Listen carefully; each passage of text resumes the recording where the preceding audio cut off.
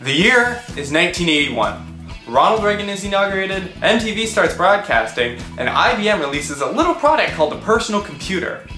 1981 is also when this teletype Model 43 was made. Being 37 years old, it wouldn't have any modern features like Wi-Fi. Or would it?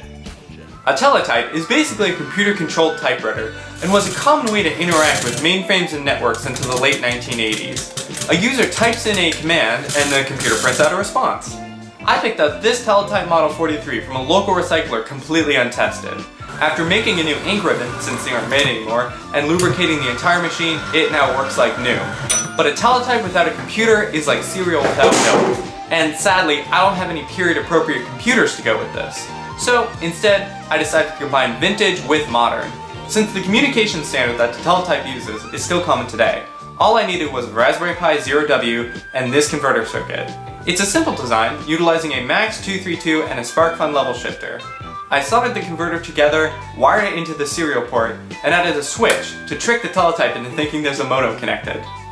I spent an afternoon coaxing Linux into talking to it, and after this unintelligible command, the teletype is back online. The possibilities are now endless. You can read the news, surf the web, chat with your friends, and even play games. And since it's Wi-Fi enabled, you can teletype on the go. This is impractical. But seriously, I love restoring these old pieces of technology because it allows me to experience what it was like to be part of computing in the 70s and 80s. Technology disappears from you so quickly, so maintaining and restoring these pieces of history is incredibly important in preserving the culture of computing. Like my other project, the rotary cell phone, adding modern features to these vintage pieces of technology always yields really interesting results.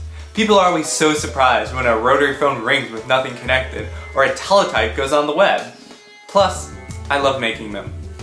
Thank you for your consideration.